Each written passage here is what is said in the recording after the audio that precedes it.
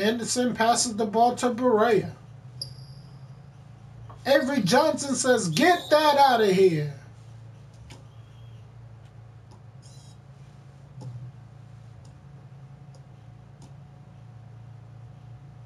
A rare Avery Johnson block.